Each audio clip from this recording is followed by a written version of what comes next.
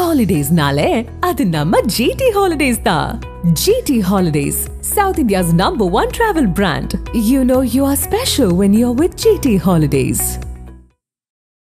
தமிழக ஆளுநர் R N Ravi அவர் வந்து திமுக அரசின் மீதான ஒரு விமர்சனத்தை வைத்திருக்கிறார். கவர்னர் உரையில அரசாங்கம் என்ன எழுதணும் பொதுவா என்ன விஷயங்களை சொல்லணும் அப்படின்னா அந்த வருடத்தில் அரசாங்கம் எடுக்க போகும் முடிவுகள் என்ன? அப்ப நீங்க கொள்கை முடிவுகள் அரசாங்க இது இதை பத்தி மட்டும்தான் நீங்க சொல்லணும். நீங்க அதுல உங்க சுய விளம்பரம் இதெல்லாம் கொடுத்து கவர்னரை படிக்க சொல்லக்கூடாது. அப்ப அந்த கவர்னர் என்ன பண்ணாரு? நீங்க அவங்க படிக்கும் போது முடிக்கும் போது இவங்க எழுதாத விஷயத்த ஜெய்ஹிந்த்னு அவர் முடிச்சாரு. இதுல என்ன தப்பு? ஜெய்ஹிந்த்ங்கிறது ஒரு கெட்ட வார்த்தையா? நாட்டு பற்றோட உள்ள சொல்ல வேண்டிய ஒரு விஷயம். உடனே மிகப்பெரிய ஒரு கிளர்ச்சி. ஆ கவர்னர் எப்படி படிக்கலாம்? நாங்க எழுதாதது அப்படின்னா நீங்க கண்டதெல்லாம் எழுதுனீங்கன்னா கவர்னர் வந்து எப்படி படிப்பார்? எங்கேயுமே இந்த ஆட்சியில ஒரு நல்ல விஷயத்தை செஞ்சாங்கன்னு நீங்கள் ஒன்றை கூட சுட்டி காட்ட முடியாது. வெளிநாடுகளில் இருந்து தீவிரவாத இயக்கங்களுடன் இவர்களுக்கு தொடர்பு இருக்குன்னு ஒரு கவர்னர் சொல்கிறாரு என்னையும் சொல்லுதுன்னா அது ரொம்ப சீரியஸான விஷயம். நாளைக்கு தமிழ்நாட்டுக்கு மட்டும் இல்லை குண்டு வெடிப்புங்கிறது இந்தியா முழுவதும் எங்கே வேணுமானாலும் நடக்கலாம். போதை மருந்துங்கிறது இன்றைக்கி இன்டர்நேஷ்னல் லெவலில் நடந்துக்கிட்டு கல்லூரிகளில் போய் வாசலில் போதை மருந்து வைக்கிறாங்க. அப்போ கவர்னர் அதைத்தான் இது பண்ணுறாரு எப்படி நான் வந்து அமைதி பூங்கான்னு சொல்ல முடியும்? அவர் வாயாலேயே தமிழ்நாடு அமைதி பூங்காவாக விளங்குகிறதுன்னு அவர் படிச்சிட்டாருன்னு வைங்க. நாளைக்கு இவருடைய ரிப்போர்ட்டை பேஸ் பண்ணி ஆர்டிகல் த்ரீ ஃபிஃப்டி சிக்ஸில் மத்திய அரசாங்கம் ஆட்சியை டிஸ்மிஸ் பண்ண வேண்டிய சூழ்நிலைக்கு வந்தா இவங்க நாளைக்கு கோர்ட்டுக்கு போய் என்ன சொல்லுவாங்க? கவர்னரே தமிழ்நாடு அமைதி பூங்காவாக விளங்குகிறதுன்னு அன்னைக்கு படிச்சிருக்காரு. அதனால தமிழ்நாட்டில் எதுவும் வந்து சட்டம் ஒழுங்கு பிரச்சனை இல்லை அப்படின்னு நாளைக்கு இவங்களே கவர்னருக்கு எதிராக திருப்பலாம்ல. அதெல்லாம் கவர்னர் யோசிச்சுட்டு தான் தமிழ்நாடு அமைதி பூங்காவாக விளங்குகிறதுங்கிறத படிக்க மாட்டேன்ட்டு அவர் கவர்னர் சபாநாயகருக்கு கடிதம் எழுதுகிறார் என்னன்னா நான் உரைக்கு வரேன். கவர்னர் வரும்போதும் அசம்பிளிக்கு நடைமுறை என்னன்னா ஆரம்பிக்கும் போது நீங்க தமிழ் தாய் வாழ்த்து போட்டுக்கலாம். ஆனா ஜனகணமன இதையும் போடணும். அப்ப நீங்க கவர்னரை கூட்டிட்டு வரீங்க கவர்னர் உரைக்கு. அவர் சொன்னது மாதிரி இல்லாம அப்படி ஆரம்பத்துல ஜனகணமனதியை விட்டுட்டு கடைசியில நீங்க வந்து ஜனகணமனதியை போடுறீங்க. அப்போ அவர் கவர்னருக்கு கோவம் வருமா இதாக ஜாதி மத ரீதியாக ஒரு விஷயத்த பார்க்குறவங்க அணுகுறவங்களுக்குலாம் திராவிட மாடல்னா என்னன்னு நான் விளக்கம் கொடுக்க வேண்டிய அவசியம் எனக்கு இல்லை அப்படின்னு சொல்லிட்டு கவர்னருடைய அந்த பேட்டியின் தொடர்ச்சியாக அதற்கு பதிலடி கொடுக்கும் விதமாக முதலமைச்சர் பேசியிருக்காரு. ஜாதி மதம் இதன் அடிப்படையில் கருத்து சொல்றது கருத்துக்களை சொல்வது எப்படி தவறோ அதே மாதிரி இன அடிப்படையில் சொல்வதும் தப்பு தானே தங்களை திராவிடர்கள்னு ஆந்திராவில் இருக்கிறவங்களும் சொல்லல கேரளாவில் இருக்கிறவங்களும் சொல்லல. அவர்கள் சார்பாக பேசுவதற்கு நீங்கள் யார்? அவங்களே உங்களை திராவிடர்கள்னு ஒத்துக்கலையா. அப்ப நீங்க திராவிடம்னு பேசுறது ஒரு இன சம்பந்தமான வேற்றுமை தானே அது? ஆதன் தமிழ் நேயர்களுக்கு அன்பு வணக்கம். இன்றைய சிறப்பு நேர்காணலில் நம்முடன் இணைந்திருக்கிறார் நேதாஜி மக்கள் கட்சி தலைவர் வரதராஜன் சார். சார் வணக்கம். வணக்கம். தமிழக ஆளுநர் ஆர் என் ரவி அவர் வந்து திமுக அரசின் மீதான ஒரு விமர்சனத்தை வைத்திருக்கிறார். இது அவர் வை- வைத்தது முதல் தடவை இல்லை அப்படின்னாலும் கூட இந்த முறை ரொம்ப விரிவாக குறிப்பாக வந்து in terms of law and order in terms of governance சொல்லிட்டு அது அதற்குள்ளாக போய் நிறைய விமர்சனங்களை முன்வைத்திருக்கிறார். முதற்கட்டமாக இந்த லா அண்ட் ஆர்டர் சம்பந்தமாக நிறைய ஒரு நான்கு விஷயங்களை குறிப்பிட்டு ஆளுநர் பேசியிருக்கிறார். நீங்கள் அதை பார்த்துருப்பீங்க. உங்களோட ஃபர்ஸ்ட் ரியாக்ஷன் என்ன? அதாவது கவர்னர் உரையில் அரசாங்கம் என்ன எழுதணும் என்ன பொதுவாக என்ன விஷயங்களை சொல்லணும் அப்படின்னா அந்த வருடத்தில் அந்த ஆண்டில் அரசாங்கம் எடுக்க போகும் முடிவுகள் என்ன செய்ய போகும் நடவடிக்கைகள் என்ன இதுதான் சொல்லுவது தான் கவர்னர் உரை. உதாரணத்துக்கு இப்போ ம மகளிருக்கு இலவச பயணம்னா நீங்கள் அதை கவர்னர் உரையில் சொல்லலாம். இந்த ஆண்டில் மகளிருக்கு இலவச பயணம் கொண்டு வர போகிறோம் குடும்ப தலைவிகளுக்கு ஆயிரரூபா கொண்டு இந்த மாதிரி கொள்கை முடிவுகளை கவர்னர் உரையில் கொடுக்கணும். அதுதான் நம்ம அரசியல் சட்டப்படி. அதை கவர்னர் படிக்கணும். இதுதான் மரபு. அப்போ நீங்கள் கொள்கை முடிவுகள் அரசாங்க இது இதை பற்றி மட்டும்தான் நீங்கள் சொல்லணும். ஏன்னா கவர்னருங்கிற ஒரு இது வந்து ஒரு மத்திய அரசாங்கத்தோட பிரதிநிதி. நீங்கள் அதில் உங்கள் சுய விளம்பரம் இதெல்லாம் கொடுத்து கவர்னரை படிக்க சொல்லக்கூடாது. போன தடவை என்ன நடந்ததுன்னா கவர்னர் உரையில் எப்போவுமே ஜெய் ஹிந்த் அப்படின்னு சொல்லி தான் கவர்னர் உரையை முடிப்பார். நீங்கள் முதல் தடவையாக என்ன பண்ணீங்கன்னா ஜெய் ஹிந்துங்கிற வார்த்தையை எடுத்துட்டு கவர்னரை படிக்க சொன்னீங்க. அப்போ கவர்னர் அந்த உரையை முதலே வாங்கிடுவார் வாங்கும்போது அவங்க செக்ரட்டரி எல்லாம் சொல்லுவாங்க ஜெய்ஹிந்த் மிஸ்ஸிங் சார் அப்படின்னு. அப்போ அவர் என்ன பண்ணுவார்? ஜெய்ஹிந்துங்கிறது ஒரு நாட்டுப்பற்று சம்மந்தமான விஷயம். அதை வந்து ஒரு கவர்னர் உரையில் எப்போவுமே வழக்கமாக இதுவரை இப்போ ஃபாலோ பண்ணிட்டு வந்தது பின்பற்றி வந்த ஒரு நடைமுறை. நீங்கள் அதை மட்டும் எடுத்து கவர்னரை படினா அப்போ அது கவர்னர் வந்து நாட்டுக்கு எதிரான ஒரு விஷயத்தை சொல்கிற மாதிரி வந்துடும் அப்போ அந்த கவர்னர் என்ன பண்ணார்? நீங்கள் அவங்க படிக்கும்போது முடிக்கும்போது இவங்க எழுதாத விஷயத்த ஜெய்ஹிந்த்னு அவர் முடித்தார் இதில் என்ன தப்பு? ஜெய்ஹிந்துங்கிறது ஒரு கெட்ட வார்த்தையா? நாட்டுப்பற்றோடு உள்ள சொல்ல வேண்டிய ஒரு விஷயம் வந்து நாட்டுப்பற்று அவர் எழுதாததை ஜெய்ஹிந்துனார் உடனே மிகப்பெரிய கிளர்ச்சி. ஆ கவர்னர் எப்படி படிக்கலாம்? நாங்கள் எழுதாதது அப்படின்னா நீங்கள் கண்டதெல்லாம் எழுதுனீங்கன்னா கவர்னர் வந்து எப்படி படிப்பார்? அவர் ஒரு போலீஸ் ஆஃபீஸர் நாற்பது வருஷமாக ஐபிஎஸ்சில் வந்து மிகப்பெரிய பதவிகள்லாம் இருந்தவர். அவங்க கரெக்டான நடைமுறை எப்படி இருக்கோ அதை தான் பார்ப்பாங்க. நீங்கள் அரசியல்வாதிகள். நீங்கள் உங்களுக்கு எது வந்து விளம்பரமோ அதை பார்ப்பீங்க. அப்போ அது வந்து முடியாது அப்படின்னு அப்போவே தகராறு ஆச்சு. அதற்கப்புறம் நீங்கள் பார்த்தீங்கன்னா இப்போ அவங்க என்ன சொல்கிறாங்கன்னு கேட்டிங்கன்னா கவ தமிழ்நாடு ஒரு அமைதி பூங்காவாக விளங்குகிறதுன்னு எழுதுறீங்க. ஆனால் கவர்னரும் உங்கள் மேலே பல ரிப்போர்ட்டை ஏற்கனவே அது மத்திய அரசாங்கத்துக்கு எழுதியிருக்காரு. அதில் முக்கியமான விஷயம் என்னன்னு கேட்டிங்கன்னா என் மீது தாக்குதல் நடந்தது. நான் வந்து ஊட்டிக்கு போகும்போது காரில் வந்து கல்லை விட்டு எரிஞ்சாங்க கொடி கம்பத்தை விட்டு எரிஞ்சாங்க. திமுக கூட்டணி கட்சியை சேர்ந்தவங்க தான். கம்புகளை விட்டு எரிஞ்சாங்க. நானே ஒரு சாதாரண குடிமகன் மாதிரி ஒரு புகாரை போய் கொடுத்தேன் போலீஸுக்கு. இன்றைக்கு வரை அதுக்கு சிஎஸ்ஆரும் கொடுக்கல அதுக்கு எஃப்ஐஆரும் போடல யாரையுமே கைது செய்யலை. அப்போ எனக்கே பாதுகாப்பு இல்லாத ஒரு சூழ்நிலை இருக்கிறதுன்னு சொல்லி ஒரு ரிப்போர்ட் வந்து அவர் ஏற்கனவே மத்திய அரசாங்கத்துக்கு எழுதிட்டார். இதுக்கப்புறம் பார்த்தீங்கன்னா கோயம்புத்தூர் அந்த குண்டு வெடிப்பில் இவங்க நடந்ததில் வந்து அவர் என்ஐஏட்டேருந்து ரிப்போர்ட் வாங்கினார். இவங்க வந்து அது சிலிண்டர் வெடிப்புன்னு சொன்னதுக்கப்புறம் என்ஐஏ விசாரித்தாங்க அவங்ககிட்ட இருந்து ரிப்போர்ட்டை வாங்கும்போது அவங்க இல்லை இதில் தீவிரவாதிகளுக்கு தொடர்பு இருக்குது வெளிநாட்டில் இருக்கிற தீவிரவாதிகளுக்கும் அந்த வந்தவங்களுக்கும் தொடர்பு இருக்குது அப்படிங்கிற விஷயத்த சொல்லும்போது அதுக்கும் ஒரு ரிப்போர்ட் எழுதினார் கவர்னர். என்னென்னு கேட்டிங்கன்னா அதில் என்ஐஏ விசாரணைப்படி வெளிநாட்டு தீவிரவாதிகளுக்கும் தொடர்பு இருக்கிறது தெரிய வருது. அப்படிங்கிறது அவர் ஒரு போலீஸ் அதிகாரி இல்லை அந்த இதில் அதுக்கும் ரிப்போர்ட் அனுப்பினார். இந்த மாதிரி கள்ளக்குறிச்சி விஷயத்துக்கும் அவர் ரிப்போர்ட் அனுப்பியிருக்கார். இப்போ அதுக்கப்புறம் அடுத்தடுத்து எப்படி நடந்தது நீங்களே பாருங்கள் அவர் சொல்லாத விஷயத்த நான் இதை அவரும் சொல்லியிருக்காரு. ஒரு உமன் கான்ஸ்டபிள் ஒரு பெண் போலீஸு கட்சிக்காரன் போய் கையை பிடிச்சிருக்கிறாங்க அதுக்கப்புறம் அவங்க ஒரு கம் புகார் கொடுக்குறாங்க. கைது பண்ண விட மாட்டேங்கிறாங்க திமுக எம்எல்ஏ அதுக்கப்புறம் அந்த அம்மா கொடுத்த புகாரை வற்புறுத்தி வாபஸ் வாங்க வைக்கிறாங்க. அப்போ இதெல்லாம் வந்து ஒரு அமைதி பூங்காவாக தமிழ்நாடு விளங்குது அப்படிங்கிறது நம்ம எப்படி ஏற்றுக்கொள்ள முடியும்? அதுக்கு முன்னாடி பார்த்தீங்கன்னா ஒரு திருவற்றூர் எம்எல்ஏ கார்பரேஷனில் இருக்கக்கூடிய ஒரு ஜூனியர் இன்ஜினியர் கன்னத்தில் அறையிறாரு. அவர் திரும்ப ஜூனியர் இன்ஜினியர் கம்ப்ளைண்ட் கொடுக்குறாரு. கார்பரேஷன் கமிஷனர் நேர்மையான அதிகாரின்னு சொல்லக்கூடிய கார்பரேஷன் கமிஷனர் உடனே எஃப்ஐஆர் போடுங்க ஒரு அரசு ஊழியர் தாக்கப்பட்டிருக்கிறாருன்னு சொல்லணும்ல. திமுக எம்எல்ஏ தாக்குனதுனால அந்த கார்பரேஷன் கார்ப்பரேஷன் கமிஷனர் கடிதம் எழுதுறாரு கமிஷனருக்கு இந்த மாதிரி நடந்திருக்கு. இன்னைக்கு வர எஃப்ஐஆர் போட்டாங்களா? அப்போ நீங்கள் தமிழ்நாடு அமைதி பூங்காவாக விளங்குகிறதுன்னு சொன்னீங்கன்னா உங்கள் கட்சிக்கு சேர்ந்தவங்களாலேயே அரசு ஊழியர்களுக்கு பாதுகாப்பு இல்லைங்கிற ஒரு நிலைமை தான் இருக்குது அப்போ இந்த சூழ்நிலைகளை பல ரிப்போர்ட்டுகளை அவரே அனுப்பியிருக்காரு.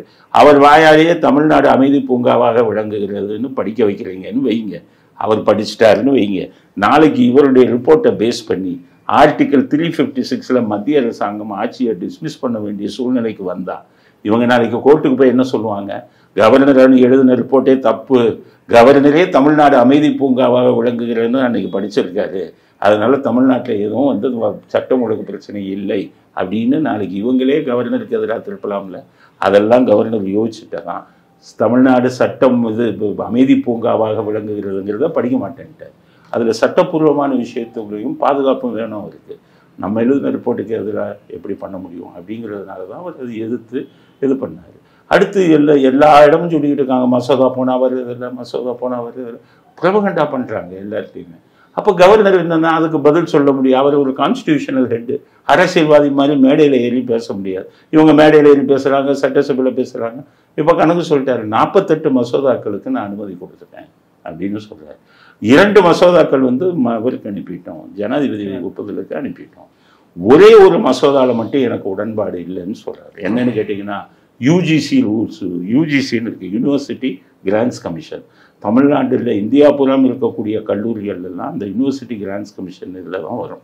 அந்த ரூல்ஸ் என்ன சொல்லுதுன்னு கேட்டிங்கன்னா ஒரு யூனிவர்சிட்டிக்கு ஒரு சான்சலர் சான்சலர் போஸ்ட்டு வேந்தர் போஸ்ட்டு அந்த வேந்தர் போஸ்ட்டுக்கு வந்து அரசியல் சார்பு இல்லாத ஒருத்தர் வந்து கவர்னர் நியமிக்கணும் அப்படின்னு தான் அது இருக்குது அதனால தான் சான்சலர் மட்டும் கவர்னர் வந்து நியமிப்பார்.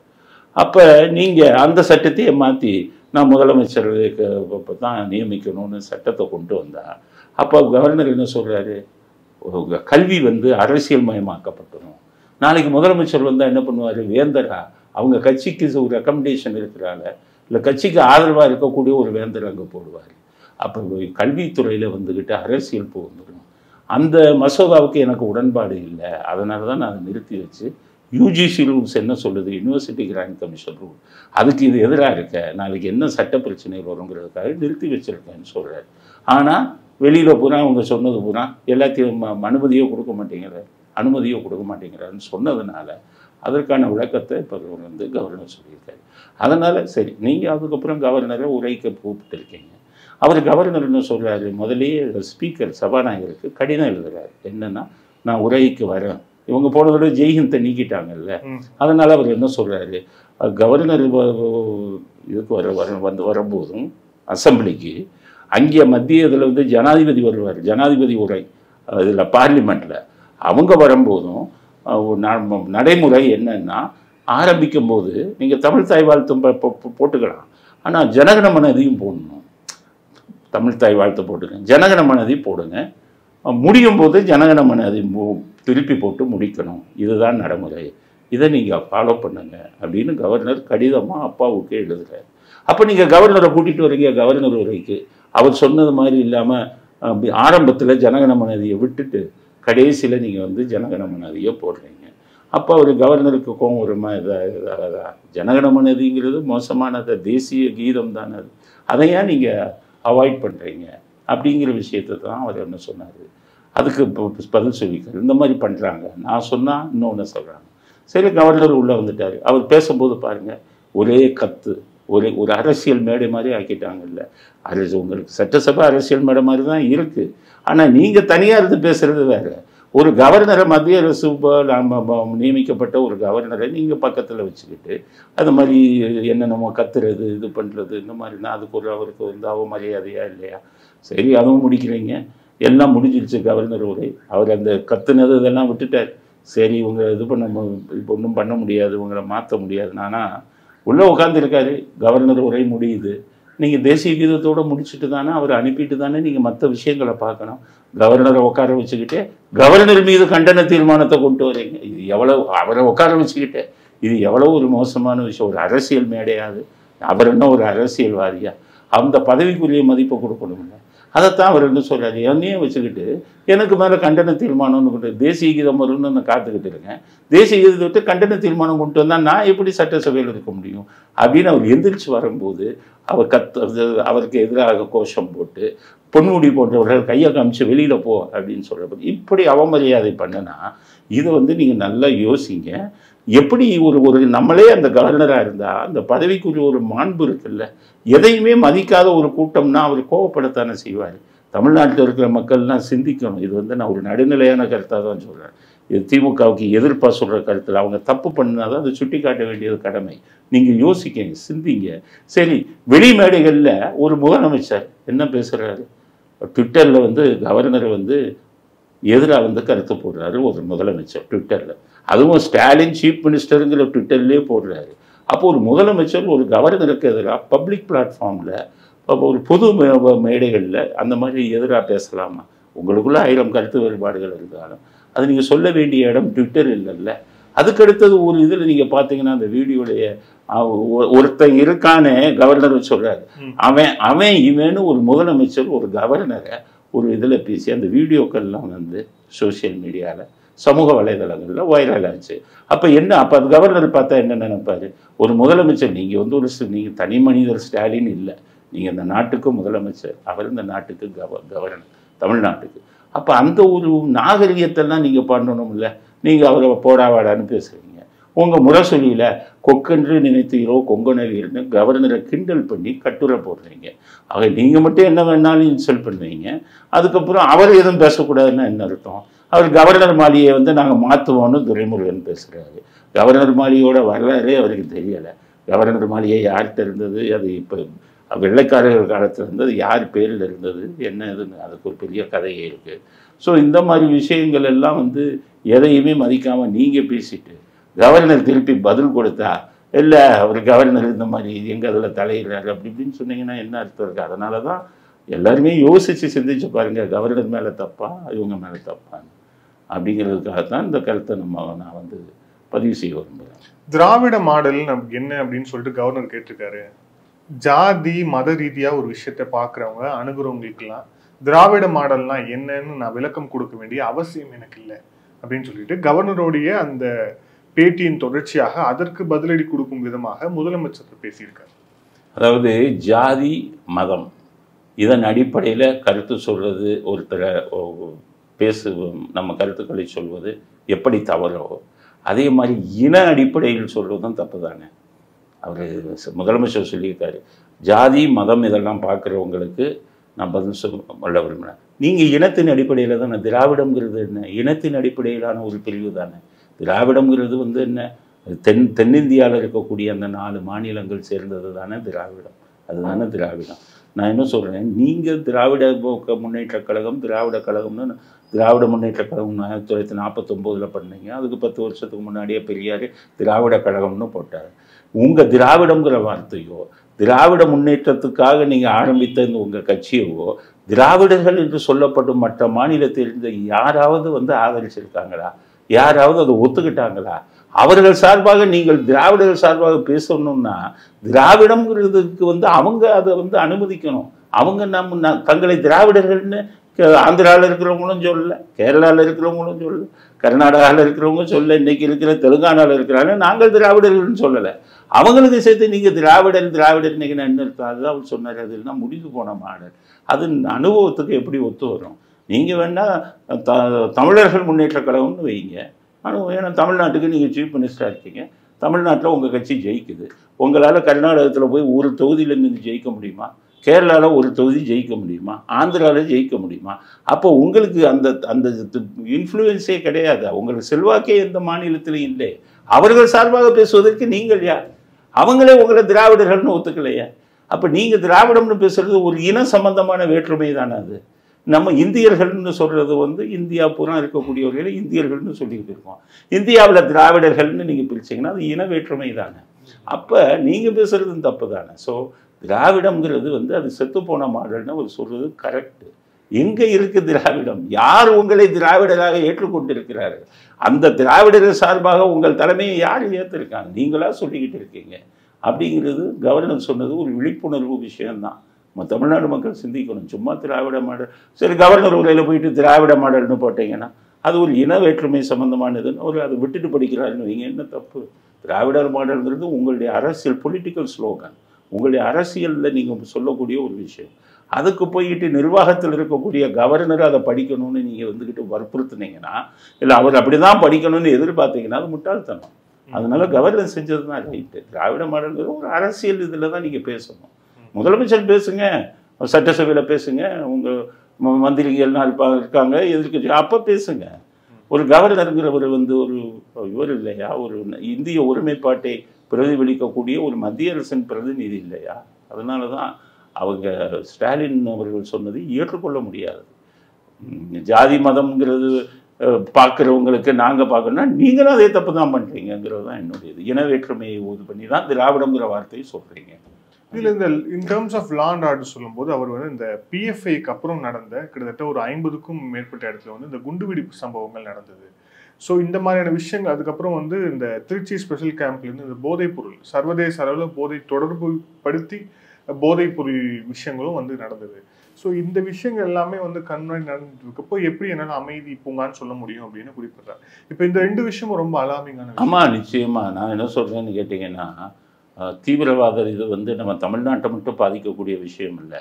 வெளிநாடுகளிலிருந்து தீவிரவாத இயக்கங்களுடன் இவர்களுக்கு தொடர்பு இருக்குன்னு ஒரு கவர்னர் சொல்கிறாரு என்னையும் சொல்லுதுன்னா அது ரொம்ப சீரியஸான விஷயம். நாளைக்கு தமிழ்நாட்டுக்கு மட்டும் இல்லை குண்டு வெடிப்புங்கிறது இந்தியா முழுவதும் எங்கே வேண்டுமானாலும் நடக்கலாம். இதெல்லாம் கண்காணிச்சுக்கிட்டு இருக்காங்க என்னையே. ஏன்னா லக்ஷர் உதய்பான்னு சொல்லி அமெரிக்க இது பாகிஸ்தானில் ஒரு இயக்கம் இருக்குது அது தீவிரவாத இயக்கம். ஐஎஸ்ஐஎஸ்ன்னு சொல்லி ஈராக்கில் இருக்குது தீவிரவாத இயக்கம். இவர்களெல்லாம் இந்தியாவின் ஒருமைப்பாட்டை கெடுக்கணும் அப்படிங்கிறதுக்காக அவங்க என்ன பண்ணுறாங்கன்னு கேட்டிங்கன்னா நிறைய பேருக்கு பண உதவி பண்ணி இங்கே குண்டு வெடிப்பு வந்து நிறையா உருவாக்குறாங்க. அது உண்மையிலேயே பிஜேபி அரசாங்கம் வந்ததுக்கப்புறம் அது நிறைய கட்டுப்படுத்தப்பட்டிருக்கு. நான் காங்கிரஸ் இருக்கும்போது நானே நேரம் பார்த்துருக்கேன் டெல்லி ஹைகோர்ட்டில் குண்டு வெடித்தது ஹைதராபாத்தில் குண்டு வெடித்தது அந்த மாதிரி பெரிய அளவு குண்டு வெடிப்புகள் வந்து இங்கே இல்லாமல் இருக்குன்னா இவங்க கட்டுப்பாடு அந்த தீவிரவாத இயக்கங்கள் எல்லாம் ராவை வச்சு கண்காணிச்சுக்கிட்டு இருக்காங்க. அந்த தீவிரவாத இயக்கங்களுக்கு பணம் போ போகாமல் பார்த்துக்கிறாங்க அவங்களுக்கு எதிராக சில விஷயங்கள்லாம் பண்ணிக்கிட்டு இருக்காங்க. அப்படி இருக்கும்போது நீங்கள் தமிழ்நாட்டில் மட்டும் இந்த மாதிரி ஒரு விஷயம் நடந்தால் ஒரு குண்டே வெடிச்சிருச்சுன்னு வைங்க. நீங்கள் உடனே என்ன பண்ணியிருந்தோம் என்னை எட்டு அது நீங்கள் விசாரிங்க நாங்கள் போலீஸ் தலையிட மாட்டோம்னு தான் ஒரு ஆளுங்கட்சி சொல்லணும். ஏன்னா குண்டு வெடிச்சிருச்சுனாலே அது வந்து தமிழ்நாடுக்கு உட்பட்ட ஒரு விஷயமே இல்லை. வேறு மா மா- மாநிலங்களுக்கும் தொடர்பு இருக்கும். இப்போ நீங்கள் கேரளாவை எடுத்துக்கோங்க. முன்னாடி குண்டு வெடிப்புலெல்லாம் வந்து கேரளா ஹைகோர்ட்டில் வந்து முன்னாடி குண்டு இது சேலத்தில் இதிலெல்லாம் ஒரு ஆர்எஸ்எஸ் உங்களை கொலை பண்ணாங்க. அப்போ கேரளா ஹைகோர்ட்டில் போலீஸ் என்ன ஃபைல் பண்ணாங்கன்னு கேட்டிங்கன்னா இந்த ஆர்எஸ்எஸ் உங்களை கொலை பண்ணுறது வந்து இங்கே கேரளாலேயும் இந்த இயக்கங்களுக்கு இருக்குது அந்த இயக்கங்களுக்கும் அங்கே இருக்கக்கூடிய இயக்கங்களுக்கும் தொடர்பு இருக்குது அவங்க தான் இந்த மாதிரி கொலையில் ஈடுபடுறாங்கன்னு அஃபிடவிட்டே ஃபைல் பண்ணாங்க கேரளா ஹைகோர்ட்டில் அப்போ அது வந்து ஒரு இன்டர் ஸ்டேட்னாலே நீங்கள் தொடக்கூடாது. அது சிபிஐ எடுத்துக்கோங்க இல்லை என்ஐ எடுத்துக்கோங்க. அவங்க உண்மையை கண்டுபிடிச்சிக்கிட்டோம். ஸோ குண்டு வெடித்தோடனே நீங்கள் நமக்கு அசிங்கம் நம்ம இதுன்னு ஒரு ஒரு சின்ன குறுகிய வட்டத்துக்குள்ளே பார்த்துட்டு இல்லை குண்டு வெடிக்கலைன்னு நீங்கள் அரசியல் ஸ்டேட்மெண்ட் விடலாம் அரசியல் அறிக்கை விடலாம். அதுவும் அவங்க பார்த்துக்குவாங்க. அப்போ அது இல்லாமல் இல்லை அது இது கேஸ் இது பண்ணுறதுன்னு நீங்கள் சொன்னது தப்பு. இப்போ அந்த என்ஐஏலேருந்து அவருக்கு வேறு விஷயம் கிடச்சிருக்கு. அவருக்கு அவர் ஐபியிலலாம் இருந்தவர். அவர் கவர்னர் அவருக்கு தெரியும் இந்த இன்வெஸ்டிகேஷன் ஏஜென்சி அவர் தன்னுடைய செல்வாக்கு இது பண்ணி எங்கெல்லாம் கேட்குறாரு. பிஎஃப்ஐ பேன் பண்ணுறதுக்கு முன்னாடி அவர் சொன்னார் PFI is a dangerous organisation ஆபத்தான ஒரு அமைப்பு. அவங்களால் ஆபத்து இருக்குன்னு சொன்னார். அவர் போலீஸ் ஆஃபீஸராக இருக்கிறதுனால இந்த விஷயங்கள் எல்லாம் பார்த்துட்டு கருத்து சொல்கிறார் நீங்கள் ஒரு முதலமைச்சராக இருக்கிற ஒரு அவசரப்பட்டுக்கிட்டு நீங்கள் சொன்னீங்கன்னா அப்போ அவர் சொல்லக்கூடிய விஷயம் கரெக்ட் ரெண்டாவது போதை மருந்து தான் சொல்கிறேன் போதை மருந்துங்கிறது இன்றைக்கி இன்டர்நேஷ்னல் லெவலில் நடந்துக்கிட்டு இருக்கு. இவ்வளவு போதை மருந்துகள் நடமாட்டம் இருக்குது காலு கா கல்லூரிகளில் போய் வாசலில் போதை மருந்து வைக்கிறாங்க. பள்ளிகளில் போதை மருந்து விற்கிறாங்க பஃப்ஸெல்லாம் வந்துக்கிட்டு இளைஞர்கள் வந்து போதை மருந்து இது பண்ணிட்டான் பண்ணிக்கிட்டு இருக்காங்க. போலீஸ் என்ன பண்ணுவாங்க? அவங்கள பிடிச்சா சட்டம் வந்து சரியான முறையில் இல்லை. ஏன்னா சட்டத்தில் எப்படி தண்டனை கொடுக்குறான்? போதைப் பொருளுக்கு எதிரான சட்டத்தில் குவான்டிட்டியை வச்சு தான் டைம் கொடுக்குறான். நான் ஹைகோர்ட்லேயே நிறைய பெயில் பெட்டிஷன் பெயில் நடக்கும்போது நான் ஹைகோர்ட்லேயே இப்போ வாட்ச் பண்ணியிருக்கேன். என்னென்னு கேட்டிங்கன்னா ஜட்ஜே என்ன கேட்பார்? போதை மருந்து கடத்தல் ஹெராயின் கடத்தல்பாங்க எத்தனை கிலோன்னு கேட்பாங்க. எவ்வளோ குவான்டிட்டின்னு கேட்பாங்க. ஒரு கிலோ ரெண்டு கிலோனா பெயில் கொடுக்க மாட்டாங்க. இத்தனை கிராமு ஆஃப் கிலோ கால் கிலோனா பெயில் கொடுத்துருவாங்க. அப்போ கால் கிலோ நீங்கள் கால் கிலோ அரை கிலோ ஹெராயினுக்கு ஆயிரக்கணக்கான பேருக்கு சப்ளை பண்ணலாம். ஒரு சின்ன பீஸ்லேயே ஆயிரக்கணக்கான பேருக்கு பண்ணலாம். இப்போ நம்ம சட்டமே என்ன சொல்லுது? இந்த குவான்டிட்டி கமர்ஷியல் குவான்டிட்டி அப்படிங்கிறதுக்கு வேறு இது கொடுக்குறாங்க. அப்போ சட்டம் சரியாக இல்லாததுனால தான் போதை மருந்து வந்து பெரிய அளவில் கடத்தப்படுது. போதை மருந்துகள் உள்ளே வர்றதுக்கு பல காரணங்கள் இருக்குது எனக்கு தெரிஞ்சு நான் எனக்கு சில விஷயங்களை இது பண்ண முடியாது. ஒரு அரசியல் குடும்பம் வந்து என்கிட்ட வந்து ஒரு வழக்குக்கு வந்தாங்க. அப்போ அரசியல் குடும்பம் அந்த வழக்குக்கு வரும்போது எங்களோட பேச்செல்லாம் நடக்கும்போது அப்போ அவங்ககிட்ட நான் நிறைய விஷயங்களை விசாரித்தேன் அப்போ அவங்க சொன்ன விஷயம் எனக்கு அதிர்ச்சியாக இருந்துச்சு. என்னென்னு கேட்டிங்கன்னா கப்பல்களில் போதை மருந்து வந்து நம்ம ராமே இந்த ராமேஸ்வரம் சைடு எல்லாம் வந்து இறக்குறாங்க. அது இறக்குறதுக்கு அரசியல்வாதிகளுக்கு கையூட்டு கொடுக்குறாங்க. அந்த கையூட்டு சம்பந்தமாக சில விஷயங்கள்லாம் அவங்க என்கிட்ட பேசினாங்க. எனக்கு ரொம்ப இதாகிடுச்சு அப்போ அரசியல்வாதிகள் துணையோடு இந்த போதை மருந்துகள்லாம் வந்து இறங்குதா அப்படிங்கிற சந்தேகம் இப்போ வந்து அதனால தான் அந்த போதை மருந்துகள் இந்த அளவுக்கு நடமாடுது. ஏன்னா எல்லா இடத்துலையும் உங்களுக்கு பார்டர்லாம் எல்லாம் கட்டுப்பாடு வச்சுருக்காங்க. நேபாள் பார்டர் பங்களாதேஷ் எல்லாம் கட்டுப்பாடு வச்சுருக்காங்க. அப்போ ஏர்போர்ட்லலாம் வந்து ஸ்னிஃபர் டாக் மோப்ப நாய்களை வச்சு வர்ற பார்சல்லாம் இது பண்ணுறாங்க இவ்வளவு கட்டுப்பாடுகளின் மீறி எப்படி வருதுன்னா கடல் வெளியே வருது. அந்த கடல் வெளியே வருவதற்கு அரசியல்வாதிகள் துணை இருக்காங்கங்கிறதுக்கு என்கிட்ட வந்த வழக்கில் அவங்க ஆதாரத்தோடயே சொன்னாங்க. அப்போ என்ன இதாகுதுன்னு கேட்டிங்கன்னா அரசியல்வாதிகள் இதை கவர்னரால் பேச முடியாது. அவர் ஏன்னு கேட்டிங்கன்னா அவர் கவர்னர் இருக்கிற பொசிஷனில் இருக்கார். அவருக்கு இதே மாதிரி நியூஸ் வந்திருக்கும்ல.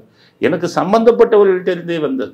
அந்த பணத்தை ஒரு அரசியல்வாதி வாங்க சொல்லி அது எப்படி இது பண்ண சொன்னாங்கங்கிறதெல்லாம் வந்தது. இன்ஃபர்மேஷன் வந்தது. அதனால் இதை நான் பெருசாக கொண்டு போக முடியாது. அப்படிங்கும்போது கவர்னருக்கு இதே மாதிரி நியூஸ் வந்திருக்கும்ல. அப்போ கவர்னர் அதைத்தான் இது பண்ணுறாரு எப்படி நான் வந்து அமைதி பூங்கான்னு சொல்ல முடியும்? அப்போ போதைப் பொருள்கள் ஃப்ரீயாக வந்து உள்ளே இறங்குது. அப்படிங்கிறது தான். நீங்கள் ஒரு லட்சம் கோடி ரெண்டு லட்சம் கோடி இன்றைக்கி அரசியல்வாதிகள்கிட்ட சொத்து வந்திருக்குன்னா வெறும் நம்ம இந்த இதில் டெண்டர்லையும் வெறும் பிடபிள்யூடி டெண்டர்லையும் இதுலையும் மட்டும் வர வருமானம்னு நினைக்கிறீங்களா? இவ்வளோ வருமானங்கள்லாம் இதில் வரக்கூடிய வருமானங்கள் தமிழ்நாடு அரசாங்கத்தில் வரக்கூடிய வருமானம் சாதாரண வருமானம். லட்சக்கணக்கான கோடி வருதெல்லாம் வருதுன்னா போதைப் பொருளில் தான் வரும். அந்த போதைப்பொருள் உள்ளே கொண்டு வருவதற்கு அரசு நம்ம தமிழ்நாட்டு அரசியல்வாதிகளுக்கு தெரிஞ்சே நடக்குதுங்கிறதுங்கிறது தான் எனக்கு வந்து அந்த வழக்கில் கிடைத்த செய்தி. அப்போ கவர்னருக்கு இதே மாதிரி செய்தி கிடைச்சிருக்கும்ல. அதனால தான் சொல்கிறார் அமைதி பூங்கான்னு சொல்லக்கூடாது. ஏன்னா இந்த மாதிரி விஷயங்கள் நடக்குது. அப்படிங்கிறத ஒரு ஓப்பனாக சொல்கிறாரு அதனால அதுவும் ஒரு முக்கியமான விஷயம். இளைஞர்கள் வருங்காலத்தை கெடுக்கக்கூடிய விஷயம். இப்போ மது கெடுத்துக்கிட்டு இருக்கு. மதுவை நிறுத்துவாங்கன்னு பார்த்தோம். ஆனால் நாற்பதாயிரம் கோடி வருமானம் வருது. அது ஐம்பதாயிரம் கோடி ஆக்க போகிறோம்னு அவங்களே ஓப்பனாக சொல்கிறாங்க அப்போ மதுவை நிறுத்துகிற ஐடியா இல்லை. அப்போ போதைப் பொருளையாச்சும் தடுக்கணும் அப்படின்னு பார்த்தீங்கன்னா அதுக்கான முகாந்தரம் எதுவும் இல்லை. கவர்னர் சொல்கிறத பார்த்தா போதைப் பொருள் பெரிய அளவில் கடத்தி இங்கே கொண்டு வரப்படுது அப்படின்னு சொல்லும்போது அவர் எப்படி தன் வாயால் அமைதி பூங்காவாக விளங்கு ஆனால் அவருக்கு விஷயம் தெரிஞ்சவருக்கு தான் அந்த வழி தெரியும். உங்களுக்கு எனக்கு வழியை தெரிஞ்ச வழியை விட அவருக்கு அதிகம் தெரியும். காரணம் இந்த விஷயங்கள் எல்லாம் அவருக்கு நேராக போய் சேருது. அதனால தான் வந்து அவர் சொன்னது சரியான ஒரு கருத்துங்கிறது தான் என்னுடைய சோ அப்ப அந்த போதை கடத்தலுக்கும் இங்க இருக்கக்கூடிய அதிகாரிகள் மட்டும் அதிகாரிகள் இல்ல. அரசியல்வாதிகள். இதற்கு முன்னால் ஆட்சியில் இருந்தவர்களும் சரி இப்போது ஆட்சியில் இருந்தவர் இருக்கிறவங்களும் சரி இவர்களுக்கு இவர்களெல்லாம் இங்க வந்து இறங்குறதுக்கு அந்த அந்த வழக்கில் என்கிட்ட வந்தவர் கொடுத்த செய்தி. அதுல இருந்து வர்ற பணத்துல நீ எடுத்துக்கன்னு சொன்னதாகவும் இவர் வேண்டாம் நான் பிரச்சனையில மாட்டிக்கொண்டு மறுத்ததாகவும் ஆதாரத்துடன் சொன்னார். அவர் சொன்ன பல விஷயங்கள். அப்ப எனக்கு என்னது எல்லாரையும் தான் நான் கூட சொன்னேன். இன்னைக்கு இருக்கிற ஸ்டாலினும் அவரும் மட்டும் சொன்னேன். இதற்கு முன்னால் இருக்கிற அரசியல்வாதிகள் அவங்களையும் தான் நான் சொல்றேன் அதுல அவங்க ஜெயலலிதா மேடம் அதில் ஈடுபடல. அவங்க அதில் ஈடுபடல. அவங்க ஆனால் மற்றவர்கள் ஈடுபட்டிருக்காங்க. ஆதாரம் அதுக்கான ஆதாரம் வந்தது. அப்பதான் நான் நினைச்சேன் இவர் எப்படி அப்படின்னு. இவர்களும் அப்படித்தான். அதுக்கு முந்தின ஆட்சியிலேருந்து நடந்துகிட்டு இருக்குங்கிறாங்க. அப்போ என்னாலேயே நம்ப முடியல. யாருக்குமே தெரியாத ஒரு விஷயம். இப்படியுமா நடக்குது அப்படிங்கிறத நான் இதுக்கு முன்னாடி ஒரு சில பேட்டிகளில் கூட கோடிட்டு காட்டியிருக்கேன். இதாக சொல்ல முடியல. இன்னைக்கு கவர்னர் சொல்றாருல்ல இன்டர்நேஷனல் லெவலில் போதை இதெல்லாம் போதை மருந்தெல்லாம் வந்து க- இறங்குது அப்படிங்கிறத கவர்னர் சொல்லும்போது தான் எனக்கு ரைட் அவங்க சொன்னது உண்மை அப்படின்னு புரியுது. அப்போ அதுக்கு அரசியல்வாதிகள் துணை இருக்கிறார்கள்ங்கிறது செய்தி எனக்கு முதைய வந்தது. அதைத்தான் இப்போ கவர்னர் அதை பார்த்துட்டு தான் இதை எப்படி நான் படிக்கிறது அப்படின்னு உணர்வுபூர்வமாக சொல்கிறாருங்கிறது தான் என்னுடைய கருத்து. இதில் அவருக்கு அரசியல் கிடையாது. இதில் ஏற்கனவே இந்த ட்ரக் டிராஃபிக்கிங் சம்மந்தமான இந்த ரிசர்ச் பேப்பர்ஸில் தமிழகம் அப்புறம் விசாகப்பட்டினம் வந்து தெற் தெற்காசியாவுடைய ஒரு மையமாக இங்கேருந்து டிஸ்ட்ரிபியூட் ஆகுது. இலங்கைக்கு நிறைய நாடு டிஸ்ட்ரிபியூட் ஆகுது. நிறைய பேப்பர்ஸ் வந்திருக்கு. நம்ம பார்த்துருக்கோம். ஆனால் இங்கே நமக்கு ஏற்கனவே இந்த நார்காட்டிக்ஸ் விஷயமாகட்டும் இதை ஸ்பெஷலாக கண்காணிக்கிறதுக்கு அப்படின்னே நம்ம நிறைய குழுக்கள் வச்சுருக்கோம். அதுக்குன்னு தனியாக இன்டெலிஜென்ஸ் ஏஜென்சிஸ் இருக்குன்னு ஒர்க் பண்ணிட்டு இருக்கும்போது இந்த நெட்வொர்க் அவர்கள் கண்டுபிடிக்காமல் இருந்திருப்பாங்களா? இது இன்டர்நேஷனல் நெட்வொர்க்கு தாலிபான்லேருந்து தான் இந்த மாதிரி இதெல்லாம் அதிகமாக கடத்தப்படுது. ஈரான் தாலிபான் இந்த மாதிரி இடங்கள்ல. தாலிபானில் இதுதான் தொழில். அங்கே கஞ்சாக்கள்லாம் ஓப்பனாக பயிரிடப்படுது. இன்றைக்கி த- இவர் ஆப்கானிஸ்தானுடைய பொருளாதாரமே போதை மருந்தை வச்சு தான் இருக்குது உலகம் பூரா கடத்துகிறாங்க அவர்கள் கொலை செய்யக்கூட தயங்க மாட்டாங்க. அவங்க கப்பல்களில் வச்சு உலகம் முழுவதும் கடத்திக்கிட்டு இருக்காங்க. இந்த கடத்தி கடல் வெளியே வரும்போது அவங்களுக்கு வந்து கடல் மிகப்பெரிய ஏரியா நமக்கு. பார்டர் வந்து நமக்கு சின்னது தான் ஏன்னா நேபாளுக்கு ஒரு பார்டரு இதுக்கு பாகிஸ்தானுக்கு ஒரு பார்டரு நீங்கள் பாகிஸ்தானே பார்த்தீங்கன்னா போதை மருந்தை உள்ளே கடத்துறதுக்கு அவங்க நிறைய முயற்சி செய்கிறாங்க ஏன்னா இது இந்திய இந்திய நாட்டு இளைஞர்கள் அழிந்து போகணும்.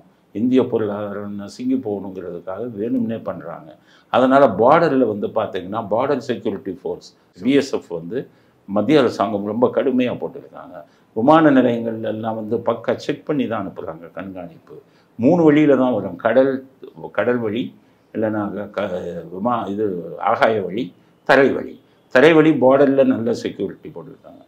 விமான ஆகாய வழி விமானத்தில் தான் வர முடியும். ஸோ அதுலேயும் வந்து கட்டுப்பாடுகிறது தரை இது கடல் வழிங்கிறது மிகப்பெரிய இடம் நம்ம இந்தியாவுக்கு.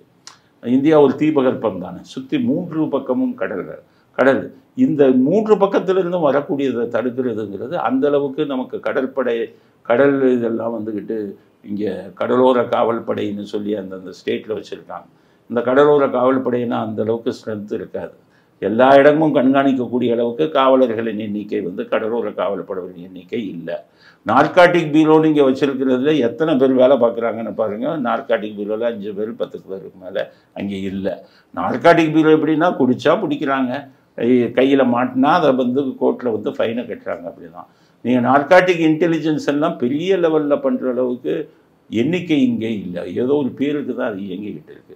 ஸோ கடல் இதை நம்ம வலுப்படுத்தணும். இந்த கடல் இதில் வரும்போது அப்போ அந்த கடத்தி வரக்கூடிய தீவிரவாதிகள் என்ன பண்ணுறாங்க ஒவ்வொரு கடல் இதுக்கும் வரும்போது அந்த கடல் ஓரம் வரும்போது அந்த கடலோர காம் அந்த இவங்க அங்கே இருக்கக்கூடியவர்கள் வந்து கண்டுகொள்ளாமல் இருக்கணுங்கிறதுக்காக அரசியல்வாதிகளை வந்து தொடர்பு கொள்கிறாங்க லஞ்சம் கொடுக்குறாருங்கிற புகார் தான் இப்போ கவர்னர் சொல்கிறது இந்த நான் ஏற்கனவே ரெண்டு வருடங்களுக்கு முன்பே என்னுடைய ஒரு வீடியோ பதிவில் அதை சொல்லியிருக்கேன்.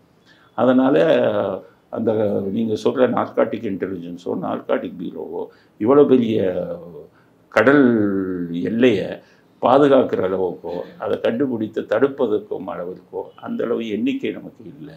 அது பேரளவில் தான் இயங்கி கொண்டிருக்கிறது. அதனால் இனிமேல் அதை பெருசுப்படுத்தணும் பெருசுப்படுத்தினாலும் எவ்வளோ பெரிய இந்தியாவில் பார்த்தீங்கன்னா அந்த மூன்று கடல்கள்லேயும் இதை கொண்டு வரும்போது அதை தடுக்கிறது வந்து ரொம்ப கஷ்டமான விஷயம். நிறைய எண்ணிக்கையில் கொண்டு வரணும். அரசியல்வாதிகளுக்கு மனசாட்சி இருக்கணும். எது மற்றதெல்லாம் லஞ்சம் வாங்குங்கிறேன்னா பிடபிள்யூடி லஞ்சம் வாங்குங்க மற்ற டெண்டர் வந்து லஞ்சம் வாங்குங்க வெளிநாட்டில் கம்பெனி ஆரம்பிச்சிருக்கீங்களா பண்ணிக்கோங்க. ஆனால் வர்ற பணம் நம்ம நாட்டை பாதிக்கிற பணமாக இருக்கக்கூடாது. நம்ம நாட்டு இளைஞர்களின் வருங்காலத்தை குட்டிச்சவராக்கக்கூடிய ஒரு பணமாக இருக்கக்கூடாது. அதுலேயாச்சும் உங்களுக்கு மனசாட்சி வேணாமா? ஒரு ஒயின் ஷாப்பை திறக்கிறீங்க இது பண்ணுறீங்க சரி இவங்க குடியாக குடி குடிச்சு கெட்டு போகிறாங்க அப்படின்னு சொன்னாலும் அதில் வரக்கூடிய பணம் குடிக்கிறவங்க கொடுக்குற பணம். ஆனால் போதையில் வர்றவன் பணம் வெளிநாட்டிலேருந்து கொண்டாந்து இறக்குறவன் அவன் கொடுக்குற பணம். அவன் எதுக்காக அதை குடித்தாங்கன்னா இளைஞர்களுடைய ஞாபக சக்தி போயிடும் இளைஞர்களுடைய திறமை போயிடும் இளைஞர்களுடைய உடல் நலம் போயிடும் வருங்காலத்து இளைஞர்கள் ட்ரக் அடிக்ட்னு சொல்லுவாங்க. ட்ரக் அடிக்ட் பண்ண ஆயிட்டாங்கன்னா அவர்கள் வந்து ஒன்றுக்குமே இது இல்லாமல் போயிடுவாங்க. அப்போ வருங்காலத்தில் இளைஞர்கள்லாம் அப்படி போயிட்டாங்கன்னா நாட்டின் முன்னேற்றம் என்ன ஆகும்? ஒன்றும் இல்லாமல் போயிடும். அப்போதுக்கு ஒரு மனசாட்சி வேணும் அரசியல்வாதிகளுக்கு. வேணாம் போதை மருந்து வேணாம். உள்ள நம்ம இவ்வளோ பணம் கிடைக்குதுன்னு. எத்த அவங்க என்கிட்ட கணக்கு சொன்னவங்க ஆயிரக்கணக்கான கோடி லஞ்சமாக வருதுன்னு சொன்னான். அவங்களுக்கு வந்து ஆயிரக்கணக்கான கோடியை நீங்கள் அவர்களுக்கு பங்கு பிரிக்கிறாங்க. அப்போ வந்து ஒரு ஆயிரக்கணக்கான கோடியில் தான் நீ வாங்கிக்க அப்படின்னு டை டைரக்ட் பண்ணுறாங்க நீ வாங்கிக்கங்கிறாங்க. அப்போ அவங்க மனசாட்சி உள்ளவங்க ஐயோ வேணாம். அவங்களுக்குள்ள இது பங்கு பிரிக்கும் போது அது வேணாம். அந்த பணம் எங்களுக்கு வேணாம்னு ஒதுங்கிக்கிட்டாங்க. அதனால தான் அவங்க நம்ம நம்ம நம்மை போன்ற ஆளுகிட்ட வந்து உண்மையை சொல்கிறாங்க இப்படியெல்லாம் பண்ணாங்கன்னு. அதை கேட்கும்போது தான் நான் கேட்கும்போது எல்லா அவங்களுமே இப்படி பண்ணிக்கிட்டு இருக்காங்க. இது ரொம்ப நாளாக நடந்துக்கிட்டு இருக்குங்கிற விஷயம் எல்லாம் வெளியில் வந்தது.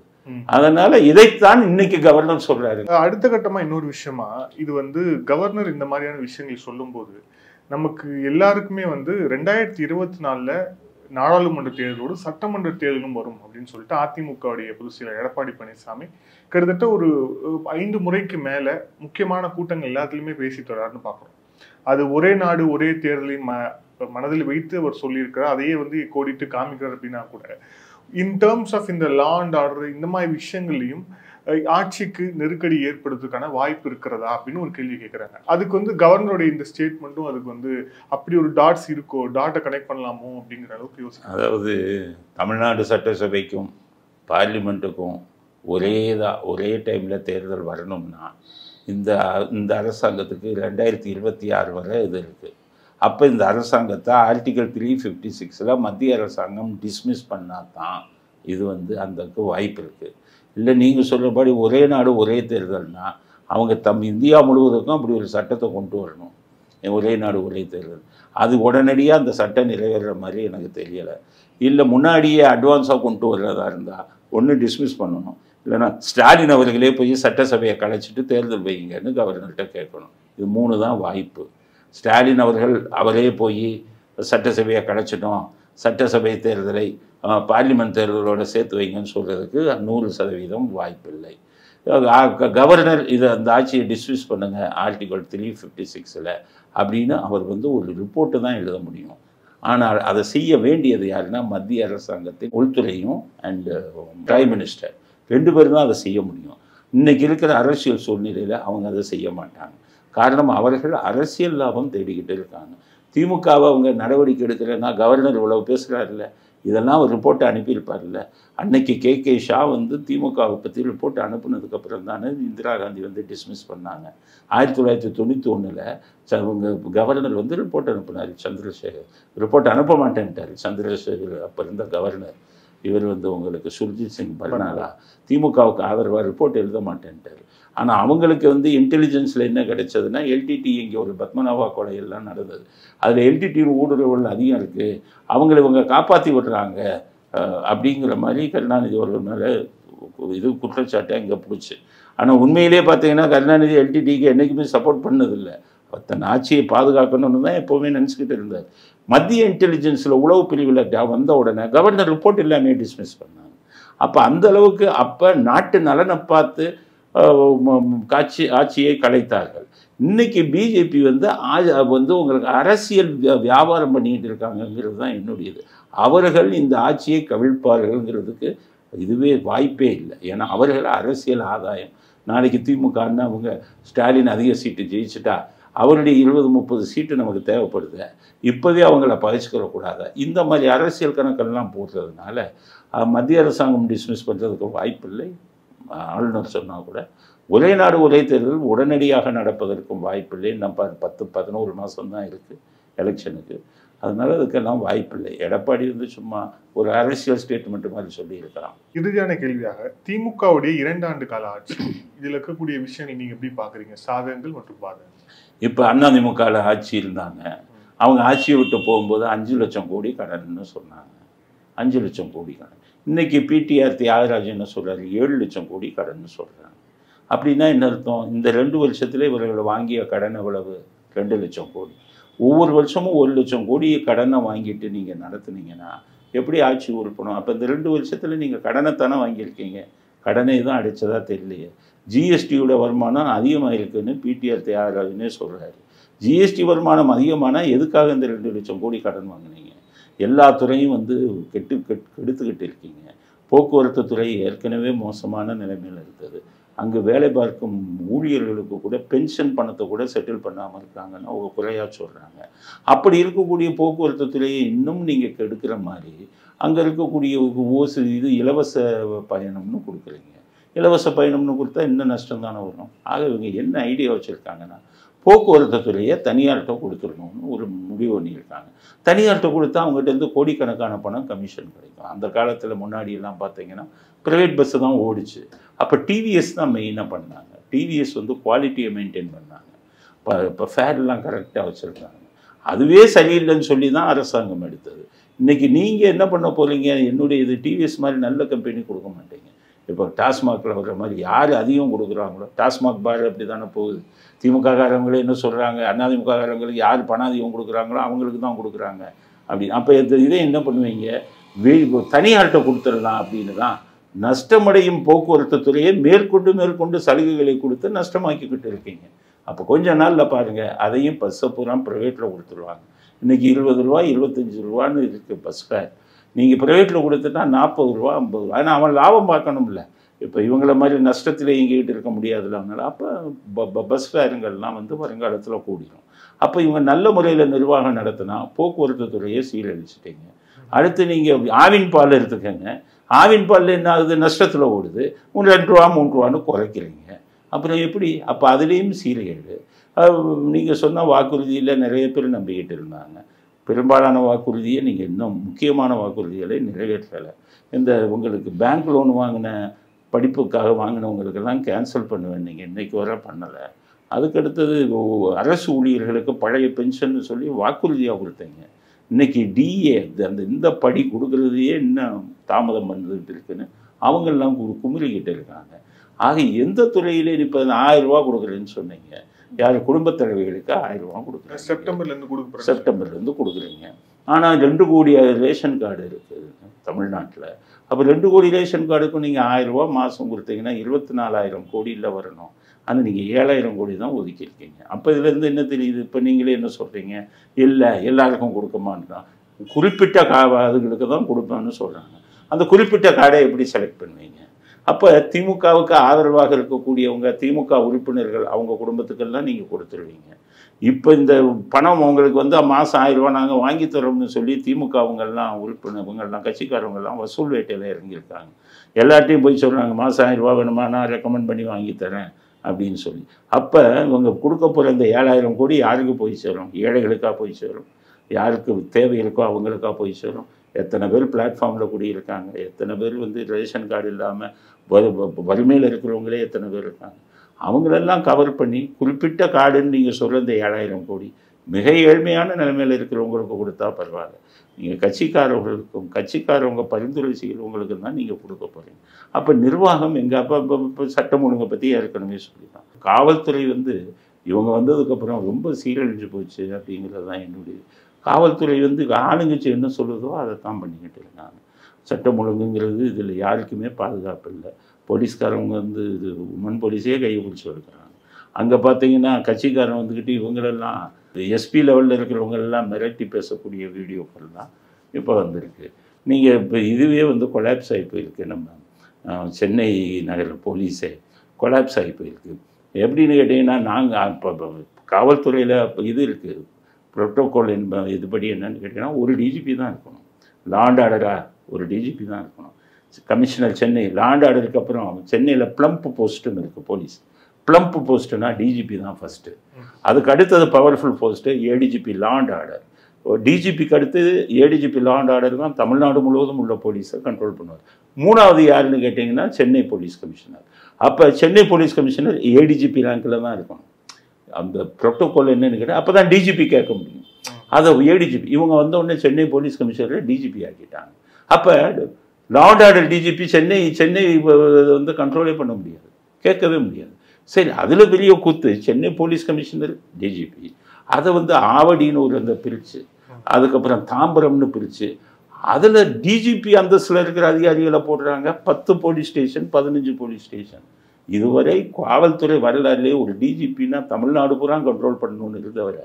பதினஞ்சு போலீஸ் ஸ்டேஷனுக்கு ஒரு டிஜிபி காரணம் அந்த டிஜிபி ப்ரொமோஷன் கொடுக்க யார் கொடுக்குறாங்களோ அவங்க வந்து திமுகவை சேர்ந்தவர். திமுகவில் மந்திரியாக இருக்கிறவருடைய உறவினர். அவருக்கு டிஜிபி கொடுக்கணுங்கிறதுக்காகவே ஒரு கேலி கூத்தாக்கி தாம்பரம் எவ்வளவு? ஆவடி ஒரு பதினஞ்சு பதினஞ்சுன்னு போட்டு டிஜிபியாக கொடுக்குறாங்க. அப்போ நிர்வாகம் என்ன ஆகும்? எல்லாம் தனித்தனி குழுக்களாக செயல்படுவாங்க. சென்னை போலீஸ் கமிஷனர் தனியாக செயல்படுவார். டிஜிபி அவரை கூப்பிட்டு கேட்டால் நீ என்னை கேட்கக்கூடாது. நீ ஏன் டிஜிபி நானும் டிஜிபின்னு பதில் சொல்லுவார். சரி அவர் Chennai police commissioner Avadi police கமிஷனரை கூப்பிட்டு என்ன ஆச்சுன்னு கேட்டால் நீயும் டிஜிபி நானும் டிஜிபி என்கிட்ட கண்ட்ரோல் வராது. பதினஞ்சு போலீஸ் ஸ்டேஷன் ஒரு எஸ்பிக்கு எத்தனை போலீஸ் ஸ்டேஷன் தெரியுமா? மினிமம் நாற்பது போலீஸ் ஸ்டேஷன் இருக்கும். இப்போ ராமநாதபுரம் எஸ்பி எடுத்துக்கோங்க வெள்ளூர் எஸ்பி எடுத்துக்கலாம் அவங்க கண்ட்ரோல் எத்தனை இருக்கும்னா நாற்பது போலீஸ் ஸ்டேஷன் இருக்கும். ஆனால் ஒரு டிஜிபியாக ஒருத்தரை போட்டு பதினஞ்சு போலீஸ் ஸ்டேஷன் கண்ட்ரோல்னு வைக்கிறது எவ்வளோ பெரிய கோமாடித்தனம் அப்போ காவல்துறை நிர்வாகம் சீர்கே சீ சீராக சீர்கேடு வந்துடும்ல இது இதுதான் இந்த ஆட்சியின் அவலம். எங்கேயுமே இந்த ஆட்சியில் ஒரு நல்ல விஷயத்தை செஞ்சாங்கன்னு நீங்கள் ஒன்றை கூட சுட்டி காட்ட முடியாது. சில பேருக்கு வெளியில் இருக்கிறவங்களுக்கெல்லாம் காவல்துறை நிர்வாகம் தெரியாது. ஏன் காவல்துறை இவ்வளோ சீரழிஞ்சு கிடக்கு? தமிழ்நாடு சொல் ஒரு டிஜிபி கவர்னர் சொல்கிறாரு எப்படி இது இந்த மாநிலம் அப்படின்னு சொல்லி நம்ம அமை அமைதி அமைதி பூங்கானா எப்படி சொல்ல முடியும் அப்படின்னு கேட்டால் நீங்கள் காவல்துறையை செயல்பட விட்டா தானே? காவல்துறையை கூறு கூறால பிரித்து வச்சுட்டீங்க. அப்போ நிர்வாகம் சரியில்லாமல் தானே போகும். அதுதான் காரணம். அதனால் இந்த ஆட்சின்றது வந்து நம்ம சாதனை. எதுவும் இருக்கிறதா நம்ம சொல்லவே முடியாது. நான் இப்போ நான் நான் இப்போ சொல்லக்கூடிய கருத்துக்கள்லாம் பொதுமக்கள் நீங்கள் சிந்திங்க. நான் சொல்வது நான் சொல்வதை ஏற்றுக்கொள்ளணும்னு இல்லை. நான் காரணத்தோடு சொல்கிறேன் நீங்கள் சிந்திங்க. அதுக்கப்புறம் முடிவு பண்ணுங்கள் இந்த ஆட்சியில் என்ன சாதனை செய்தார்கள் அப்படின்னு. நன்றி சார். பல்வேறு கேள்வி தேங்க்யூ சார் தேங்க்யூ சார் நன்றி.